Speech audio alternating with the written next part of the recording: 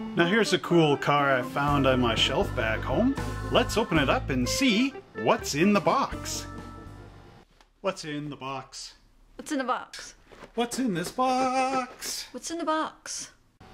Hello everybody, my name's Trevor Ursulescu and I'm the owner of Monster Hobbies in High River, Alberta, Canada.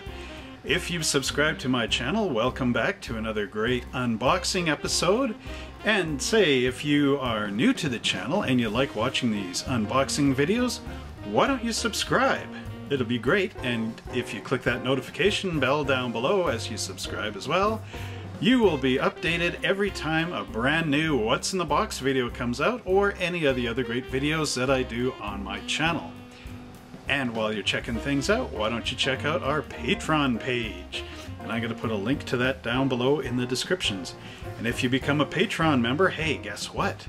You get some great benefits like getting your name in the title at the end of the video, as well as, depending on if you start at a buck or more, you can get stickers from Monster Hobbies, you can get a t-shirt, and even a special model kit. So, check out our Patreon page today. And now, without further ado, let's go and check out the Bill Cushenbery's Silhouette Car. And now, hobby fans, we take you into the future as seen in 1963 with the Bill Cushenbery's awesome Silhouette Car. And I just love this nostalgic artwork on the box top. Here you have this futuristic elevated superhighway with a nice little fence rail up there and this nice couple that are in the future. Looking down at this great structure down here which I guess is some kind of auto hotel and uh, the nice little platform up above all the trees and forest. Just gotta love that 60s art. It is so cool. So when Bill Cushenbery made this original car it was 1963 and he entered it into a special contest which was called the Tournament of Fame. And it was a contest 1963 Grand National Roadster Show, which was strictly a professional contest only open to the top customizers of the time. And with this car, this amazing car, Bill Cushenbery won first place in his class, and he and his wife got a free trip to Europe out of it, and many other cool things. So AMT under RC2 has released this kit long time ago, back in 2007, just around the time that they got up bought up by Around 2. But as you can see, they give you the original Ford 427 wedge engine with an optional blower to it, the bubble top, the four-wheel wire wheels, the optional Astro custom wheels, and this great detailed chassis. And as we look around the box, you also see that you can build it one of three ways, stock, street, or drag racing. And it's got the super feature, which is this very cool trailer to display your car in. Keeps the dust off it. and this is a skill level 2 kit for ages 10 and up. And I'll tell you one thing about this box art, it is a lot better than the earlier edition that I bought, which was the Buyer's Choice Award version. And as you can tell, I mean, this, this was RC2 at its finest back in the day, with the box looking very uninteresting. I mean, look at that, like a red car with a red trailer, okay, yep. And then you compare that with this awesome artwork, like, wow, you can't beat the thing. So, let's go and open up the lid on this baby and see what's in the box. Hey everybody, welcome down to Mike's Transmission out here in High River, Alberta, Canada, where today we have a special car coming in. It is the Hot Wheels Silhouette car from 1967, a Bill Cushenbery car, and it needs a transmission service, so it's coming right up here onto the ramps where we, our technicians can get to work on it right away. Alright guys, I'm kidding around, but uh, how many of you actually had this 1968 Silhouette car by Mattel? This, of course, was also a Bill Cushenbery car that they commissioned off him, and this is an authentic one because as you can see it's got that cool horseshoe style suspension, which gave all four wheels the independent suspension. And as you can see in my other hand here, I've got a special treat. This, of course, is the reproduction from the Hot Wheels Highway 35 Anniversary Special.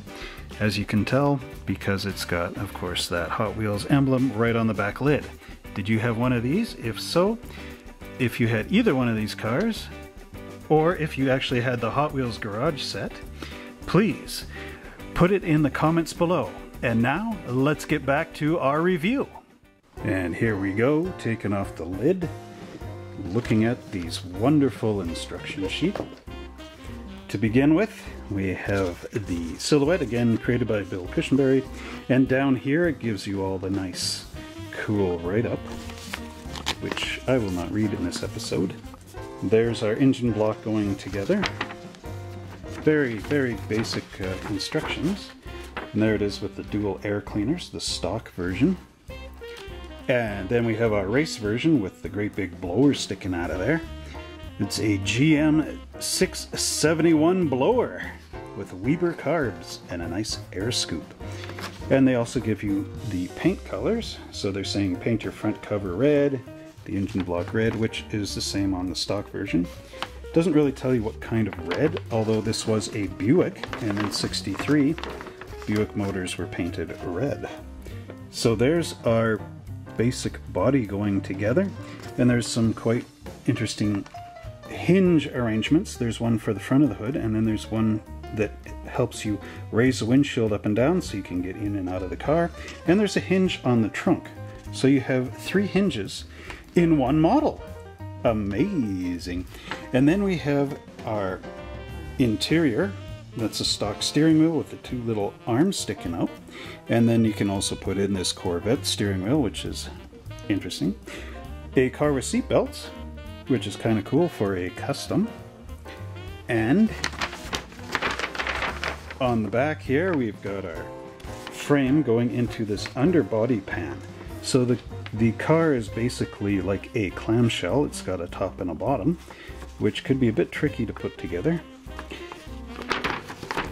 And then we have our Oh, there's the body to chassis assembly step.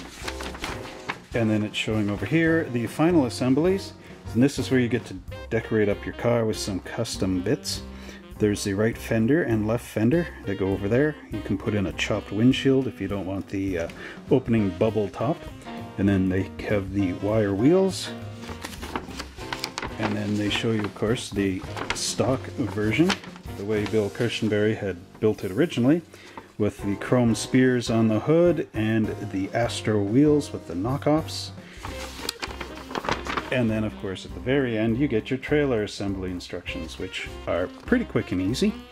And of course, you want to paint your trailer to match your car.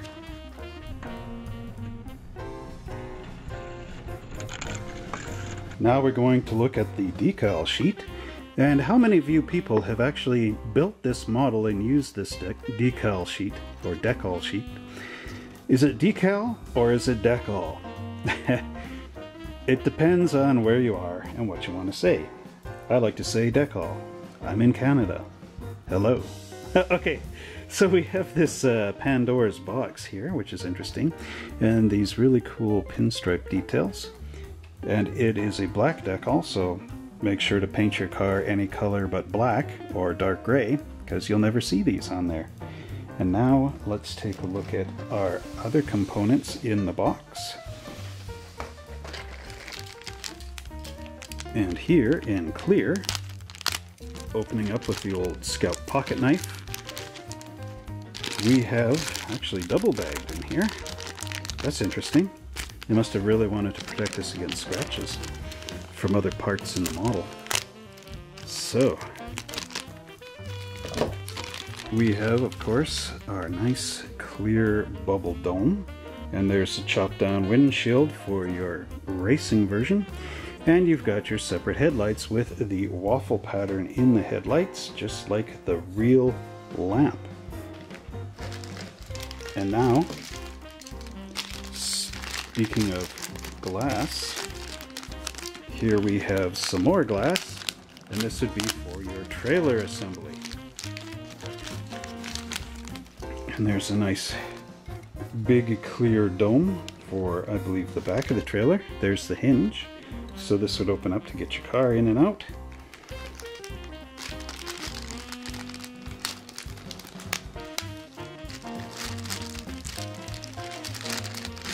Then again, double bagged, we have the second windshield.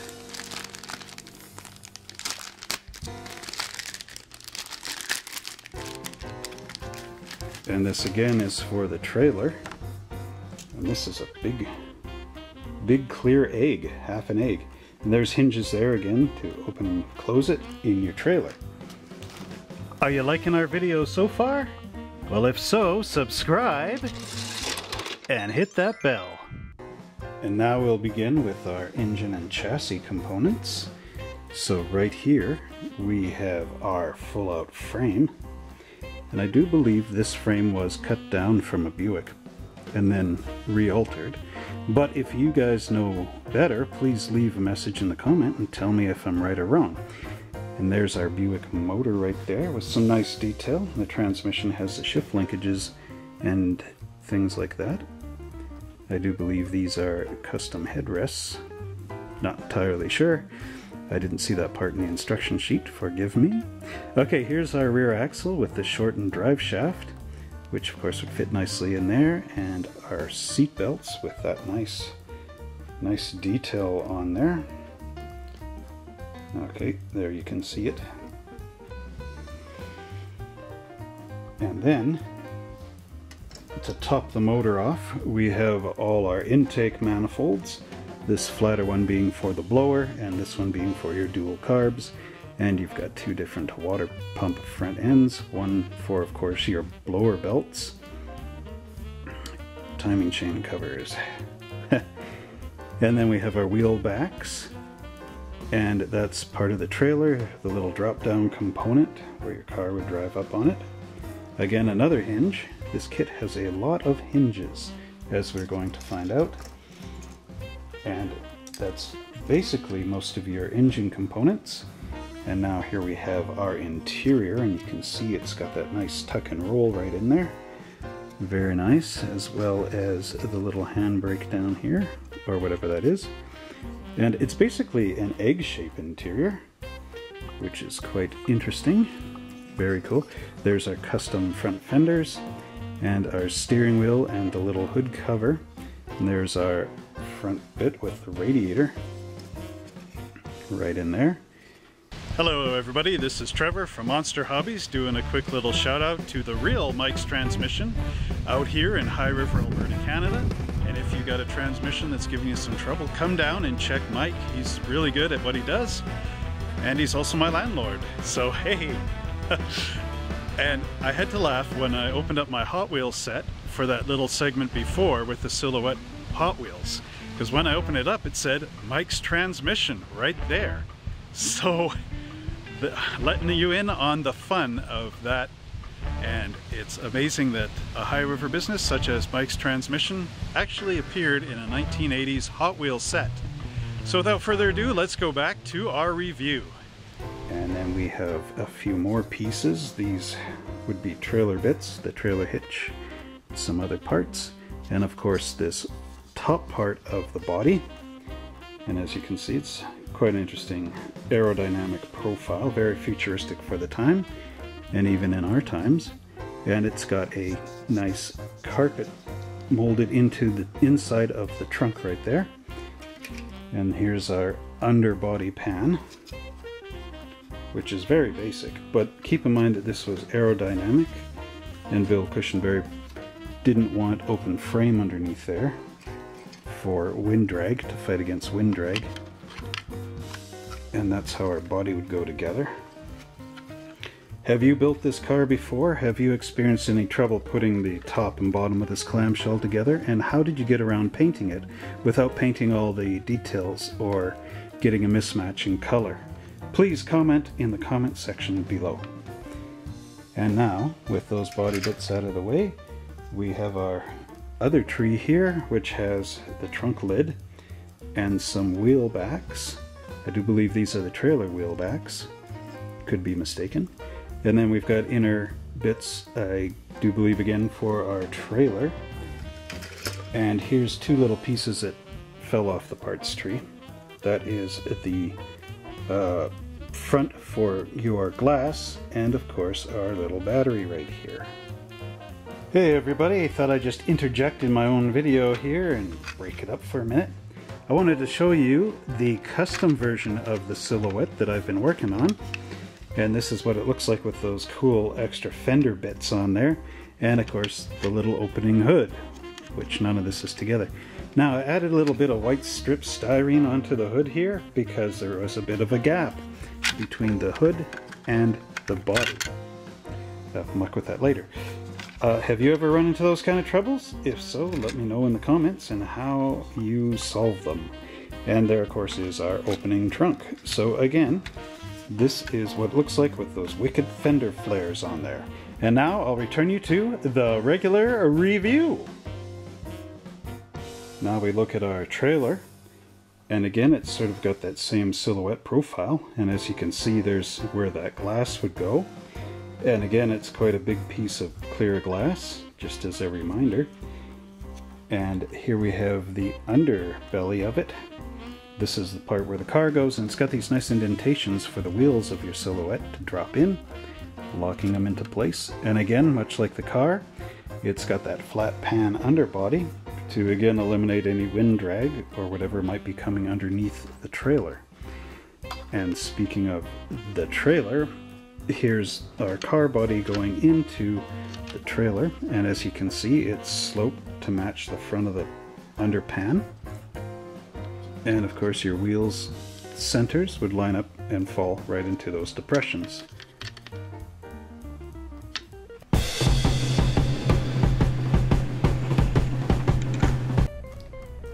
Now we're going to look at our chrome bits and cut this bag open and see the nice beautiful chrome. Everybody loves chrome. Do you like chrome or do you like to strip your chrome off? If so, leave us a message in the comments section. And while you're there, what do you use to strip off your chrome? Okay, now looking at our chrome, which is sacred. Don't strip it off. No, I'm just joking. Okay, we have these nice side exhaust pipes. Look at that detail on there. Now, if you gave that a black wash, it would really pop up. And there's of course our air cleaners and oil pan, valve covers, carburetors. You get this nice chrome license plate that says trailer on it. 1964 is stamped in there. Let's see if the camera can pick that up. Yeah, the telephone rang right at that instant. You know, when sometimes when I'm filming these videos, the telephone just rings. Does that ever happen to you when you're making videos? If so, leave a comment, let me know. Alright, getting back to this review. Here you can see we've got our wire wheels, and we also have those nice Astro wheels, as they call them. And making sure the car stops are these really cool looking Buick fins. These are disc brakes, sorry, drum brakes. Boy, phone call must have messed me up. Okay, they are drum brake housings, and they were finned, which was a Buick type thing back in the 60s, which was very popular. Every hot rodder wanted these finned brakes because, hey, they look cool. And these are your front uh, trim pieces for your hood, the chevrons and those sort of things. And of course we have that really cool looking uh, dual post steering wheel, which of course they were trying to make everything look like jets back in the day. Now let's take a look at our second chrome uh, chrome parts tree here, opening up again with our 1986 Scout pocket knife. Ooh. Okay. Woo! Yes, bouncy chrome. Made out of rubber. No, made out of plastic. There's our wire wheel tops. And these look really good. Another place to find cool wire wheels is in the AMT 1964-65 Buick Riviera kit. I think it's 65. Topic for another video. Okay, here you have these nice silhouette side bits, which I believe either go in the car or go on the trailer. I think they're for the trailer. And again, the spears for the front of the hood. And there we have the wheels for the trailer, which are not quite as cool as the other wheels. And you can see the top of the blower and our front uh, suspension components, as well as a knockoff cap here. And there's some more knockoff caps for the wheels. I believe that's a radiator one. And our chrome exhaust pipes and a little teeny grill right there, which is very nice. And we've got our separate springs, also chrome plated. Quite a good job on the chrome plating. And where would our car be without a nice cool set of tires? I'll tell you, it'd be sitting up on blocks. okay, so we have actually two sets of tires in this kit, which are really cool. We've got, of course, our original 1963 stock style Firestone tires. These are quite common to AMT kits of the past. You get four. And as you can see, it's got the nice Firestone writing up there. And these are always cool to paint in big white walls on them. Although this car would use more of a pinstripe type white wall. And if you're actually looking for white walls with that pinstripe, always check out AMT's Round 2 website uh, because they have the parts packs which have these tires with those white walls on them. And speaking of the other tires, in my other hand here, we have the Goodyear style. Sorry, these are BF Goodrich radial TAs. And they have that really cool type of uh, tread pattern on there and you get four and they all match. They're all the same size. No uh, extra width or anything. Sometimes in these custom cars you get the rear tires are bigger and the front are lower to give it a rake in appearance which means basically that the car is not sitting level flat like this it's like this. And there are the tires for it. So as you can see again another nice molding. And finally the last component in our kit is the rear tail lamps and these nice red side spears for the custom version and metal axles. This is still one of those older kits that use the metal axle through the body, but that's okay. Gives you a nice solid foundation for your car to sit on. And that brings us to the conclusion of the unboxing for Bill Cushenbery's 1963 Showstopper Silhouette. Well, thank you very much for watching this video and great review of the old Silhouette kit by AMT. And I want to actually get your opinion this time around. Next week, do you want to see me unbox the old beer wagon? Or do you want me to unbox a Batmobile? Not necessarily this one, but maybe a better one. What is it, folks? Batmobile or beer wagon? Let me know in the comments below. And while you're at it, you might as well go over to Patreon and check it out. Remember, at Patreon, your subscription can get you a shirt, and that won't hurt. So go down to Patreon and check us out. In the description below is a link. Click it and go. And now, if you want to check out our website, don't forget to take a look at that at www.monster-hobbies.ca, where you can actually purchase some model kits, but not these ones. These ones are mine. Anyway, we think you might like to see this video here and this video here, which is a review of some of our other unboxing kits, as well as check out this special video, which is tailored just for you. And don't forget to like and subscribe to us. And again, ring that bell, final ring-a-ling-a-ding-dong. And until next time, we will see you again on Monster Hobbies What's in the Box.